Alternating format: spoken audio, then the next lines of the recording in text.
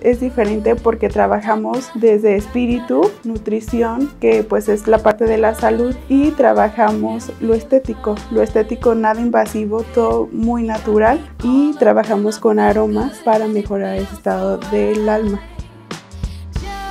físicamente trabajamos la parte de estético. Tratamos celulitis, arrugas, la flacidez y contribuimos para mejorar el aspecto de la silueta de ya sea hombre o sea mujer sin esforzarse mucho en el gimnasio aprovechen las promociones que se suben cada mes a la página, cambiar esa, esa mentalidad de que un spa es para personas con dinero o personas muy vanidosas, o sea, no un spa, eh, se trata de eso, de salud y belleza, no nada más de, de vanidad.